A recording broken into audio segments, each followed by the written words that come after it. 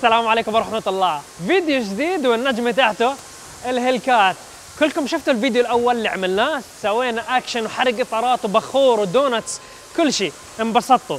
صراحة ال Hellcat أي شيء بصير فيها راح أقول لكم بوضوح بشفافية تامة مشان أي واحد يتحمس يشتري Hellcat يعرف التكاليف كل الأمور اللي بتصير بال Hellcat شو اللي بخرب شو اللي ما بخرب فإحنا نبلش بشو صار معنا.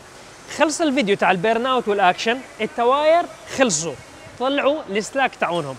فأنا حملت ال Hellcat على recovery ووديناها بدلنا الإطارات تاعتها بإطارات جديدة. هاي الإطارات zero. ولكن كان في مشكلة إنه ال steering تاع ال Hellcat صراحة أول ما خلصنا ال burnout والتفحيط صار كثير ثقيل وجنط ال Hellcat ما شاء الله 20 صار الباية القد عندي. فلما صار ال steering كثير ثقيل أخذنا السيارة وجبناها على الوكالة. هلأ قبل ما نحكي عن الوكالة راح أوريكم لما إحنا ركبنا الإطارات شو سوينا؟ وبعض النصائح عن الإطارات. التواير خلاص الوداع. الأماميين بجوز أنتم شايفينهم هيك وضعهم منيح بس الخلفيين؟ الخلفيين حكاية. على فكرة أهم شيء دائما تشيكوا على الإطارات على هذا المربع. بكون في مربع شايفينه؟ هذا تاريخ صنع الإطار يعني الأسبوع رقم 11 من سنة 2017 بس الخلفيات نروح عليهم. الأسبوع رقم 49 من سنة 2016 يعني مش خالص عمره هذا منشف منتهي. الفكرة الرئيسية من أول ما شريت السيارة أنا عارف انه الإطارات بدهم غيار منتهيين. فهذا الشيء أنا كنت عارف عن موضوعه. هاي من الأمور المهمة جدا. تكون عارف شو لازم السيارة أشياء تسوي لها صيانة. هل معمولة ولا مو معمولة؟ مشان تضمن إنه سيارتك تكون واضحة تمام تمام لما تشتريها وتبلش عمرها معك إن شاء الله. هلا والله. بس هذا دمار المسكين. هاي من ميزات الهلكات شايفين الديسكات الأمامية والخلفية بيكونوا معدلين مشان يوقفوا هذا الوحش. وأكيد بريكات Brembo ست مكابس. شو يعني ست مكابس؟ يعني طلعوه واحد في مقابله واحد. الثاني في مقابله الثاني وهي الثالث مقابل واحد. فبصيروا ست مكابس بيضغطوا على ال brake. هاي ال brake. أول ما تكبس الدواسة بصير ضغط من خلال الزيت. هاي الفحمة بتضغط على disc ال brake. هاي الديسكات الخلفية وهي آثار الجريمة. شايفينها؟ هذول الإطار لما تم إبادته. هاي حتى موجود على جسم السيارة لا زال. هذا الإطار أكبر من حجم تاع السيارة. يعني هذا الإطار نوعه ميكي تومسون سيمي سليك عرضه 305 35 هذا 20 حجم الجنط بس أنا هلأ بدي أركب الإطار الرسمي تاع السيارة. كيف تعرف الحجم الرسمي تاع إطار السيارة؟ أسهل طريقة. كل سيارات العالم موجود هون. طلعوا. تفتح الباب. هاي بقول لك إنه بالأمام 275 40 20 وبالخلف 275 40 20 وهون بقول لك كم ضغط الهواء المناسب للإطار 32 PSI وبالأمام 32 PSI وحتى ال spare بقول لك إنه 60 PSI عبي. فأنا حاليا راح أرجع الإطار بالحجم تاع الوكالة لأنه السيارة stock ما في داعي أعرض الإطار. تعريض الإطار بصير لأهداف وغايات أخرى. راح أحكي لكم عنها بالتفصيل لما نعرض الاطار okay؟ بحالة كان ال sticker هذا مو موجود على سيارتكم بكل سهولة ممكن تراجعوا الدفتر تاع السيارة لما طلعت من الوكالة. وإذا الدفتر مو موجود إذا بتدخل على الإنترنت راح تلاقي المعلومات موجودة كم حجم الإطار الأساسي.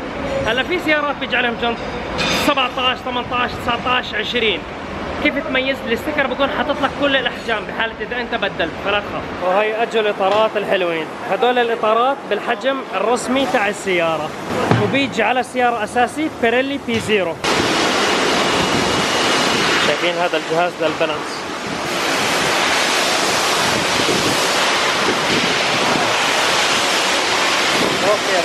عدنا لكم ركبوا الإطارات. الحبايب على تطبيقنا اي اي بيرف عندنا عروض وخصومات على الإطارات خيالية بأسعار مو عاديه بالإمارات. لا يفوتكم تزوروا التطبيق وتحملوا التطبيق على تحدي أسعار خيالية مو موجودة. أسعار جملة للمفرد إن شاء الله مستفيدين بإذن الله معنا. أي شخص بيشتري سيارة جديدة في عدد من الأمور لازم يهتم فيهم ويراعيهم. أنا لما شريت الهيلكات كنت عارف انه الإطارات تاعتها خالصين. فأنا مطمن من ناحية الإطارات وعارف إنه أنا راح أبدلهم. مشان هيك رحنا أنهينا العمر تاعهم. هلأ في عدد من القطع إحنا كنا عارفين مثلا تبديل بريكات تشيك الديسكات الزيوت هاي الأشياء. السيارة كان معها ال service history تاع الشركة لأنه هاي السيارة طالعة من الوكالة. فإحنا معنا التاريخ تاعها ولكن أنت لما تشتري سيارة جديدة عادي جدا في أشياء تخرب. إيه، السيارة ما كانت يتم استخدامها كثير كانت صافية لمدة طويلة. فأنا عارف إنه في بعض الأمور بدها تشيك. بالفيديو تاع اليوم راح أقول لكم أسعار القطع يعني بشكل سريع شو الأشياء اللي بتتبدل. بواجي بريكات ديسكات suspension كل هاي الأمور راح أعطيكم أسعارها مشان أنت تكون عارف إذا أنت شريت هيلكات وزرت الوكيل يعني عندك تصور كم الأسعار تاعت القطع. بعد ما الوكالة شخصوا حالة الهيلكات هدول القطع خربانين. لما راح ال power steering تاع السيارة. مجموعة ال steering الأمامية تعبانة. هاي المضخة تاعت ال steering لازم تبديلها لأنه خربت على السيارة. وهاي الوصلة وطبعا الزيوت موبار الأصلية. بقطع السيارات انت لازم يكون عندك قاعدة مو شرط القطعة تضل عايشة طول العمر. كيف البشر؟ في أشخاص بيعيشوا بوصل عمرهم 100 سنة و90 سنة في أشخاص بيخلص عمرهم على 10 سنين. فيعني هذا الشيء انت ما بتقدر تتحكم فيه. طريقة قيادتك وهي الأشياء لها دخل نوعا ما ولكن في قطع ممكن ينتهي عمرها قضاء وقدر. نصيبك انتهى عمرها. فهدول قضاء وقدر انتهى عمرهم فإحنا بدنا نبدلهم. الله لا يضرنا والله يبارك بمالنا. بهذا الفيديو إن شاء الله راح أخبركم أسعار. حتى لدرجة بطاريات المفاتيح تاعون السيارة خالصين راح أقول لكم كم أسعارهم. تفاصيل الأسعار وخلي الشباب يبلشوا شغل سعر شمعات الاحتراق تقريبا الوحدة 100 درهم والسيارة تحتاج ل 16 شمعة. أنا عارف إنه هي 8 سلندر ولكن كل سلندر بده شمعتين احتراق. خلينا ناخذ جولة سريعة على قطع استهلاكية بيتم تبديلهم تشالنجر هيلكات الأسعار حسب تريدنج انتربرايز الأسعار اللي عندي اياهم حاليا بدون أي خصم. دائما الوكالة بتساوي خصومات عروض special discount بمناسبات أشياء معينة. فأنت دائما زور الوكيل لأنه الأسعار راح أحكيها بدون خصومات نهائيا. ال brake disc الأمامي سعره 8480 درهم.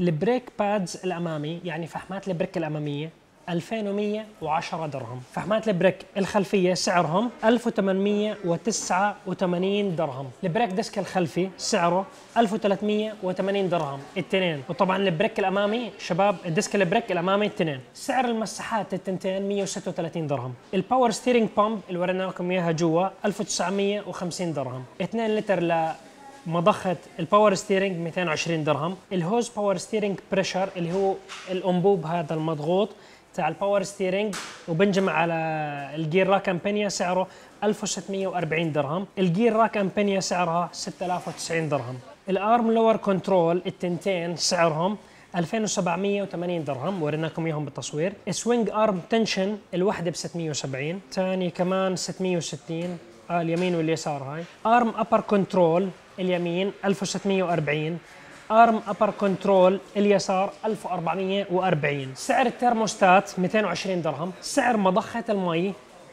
water pump 3520 درهم. سعر الروديتر 2860 درهم. سعر ممصات الصدمات الأمامية اليمين 3570 ممصات الصدمات shock absorber اليسار 3690 سعر الإنجن مونت اللي هو قواعد الماكينة هم تنتين كل واحدة سعرها 655 درهم. قاعدة الجير اللي تمسك الجير 245 درهم. مصات الصدمات الخلفيين اليسار 3510 مصات الصدمات الخلفيين اليمين 3470 بطارية المفتاح 30 درهم الوحدة.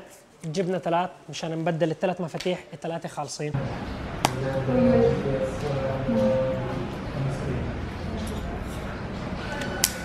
Thank you, brother.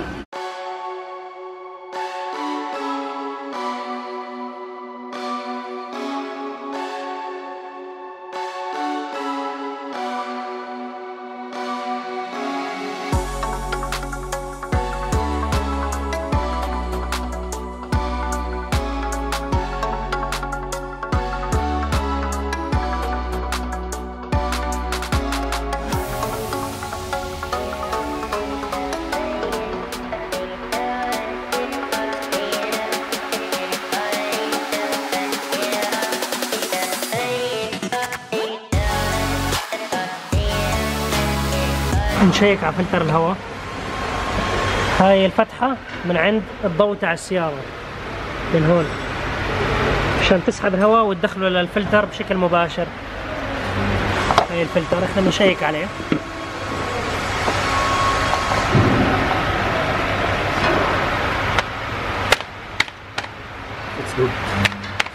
لسه في عمر.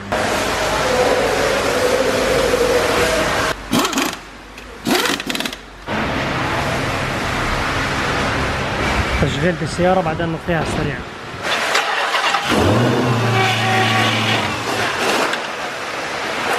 سحبت الزيت. هلا بنضيف زيت. بنضل نسوي هاي العملية. نشغل ونطفي لحد ما يكون الزيت فل. طبعا التشغيل عبارة عن ثانية أو ثانيتين بحد أقصى. نحرك العجلات يمين ويسار. مشان يطلع كل الهواء. مجمع بمجموعة ال steering صدقا يا جماعة. لو ظلت الحالة لمدة أسبوع أو شهر خلص كان بدي building خلص. بس الموضوع صعب جدا يتحرك إطار حجمه 20 إنش بكل بساطة بدون ال power steering الآن تأكدنا إنه الهواء طلع من مجموعة ال steering بالكامل وكله زيت إن شاء الله الأمور طيبة. على خير إن شاء الله. هلا في موضوع جدا مهم لازم نسويه اللي هو ال alignment تاع العجلات الأمامية لأنه إحنا فكينا مجموعة ال steering كاملة. فهذا هون في زي عيار لل steering. لازم يصير مشان تكون أمور السيارة تمشي سيدة وتكون أمورها مضبوطة. راح يتم على هذا الجهاز من خلال الكمبيوتر. شايفين هذا الجهاز بيشتغل من خلال هاي العدسة. فالدقة جدا عالية مشان يكون العيار دقيق 100% الجهاز بعطيه المعطيات وهو بحرك الستيرنج. وبعدين الجهاز بقول له بالضبط شو لازم يساوي مشان يكون الوضع 100% راح يضل يساوي العيار لحد ما يزبط معاه الدرجة المطلوبة.